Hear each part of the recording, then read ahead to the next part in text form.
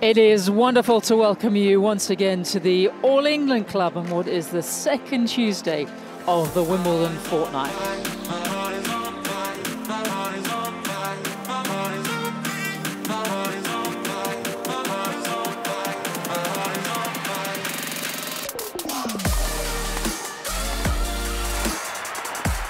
Incredible. What a finish to the match from Marketa Vondrousova.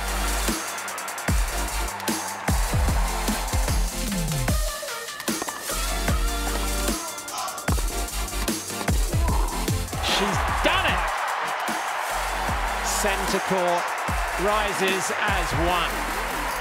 A victory for so many. The tears will flow.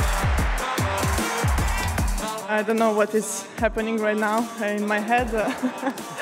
um, but it was not easy today to play against Iga, obviously. She's world number one, she's always fighting, but you know, today was, was an unbelievable match and I'm really happy I could uh, win this one.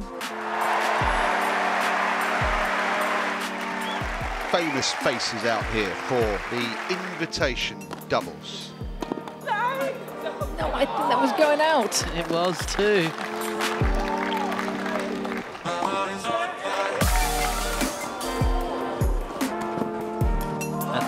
Didn't do enough with the volley. Oh, he's going to put the ball kid in. All right, let's do it.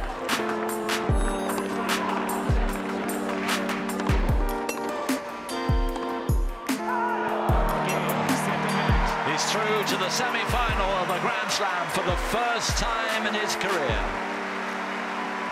Does it make any difference to you at this stage of the tournament who the semi-final opponent is? Um, uh, yeah. Uh, I know Novak, he, uh, he haven't lost on center in 10 years, so it's gonna be for sure a tough one. And that's it. A 33rd consecutive match win at Wimbledon. He still hasn't lost on centre court for 10 years.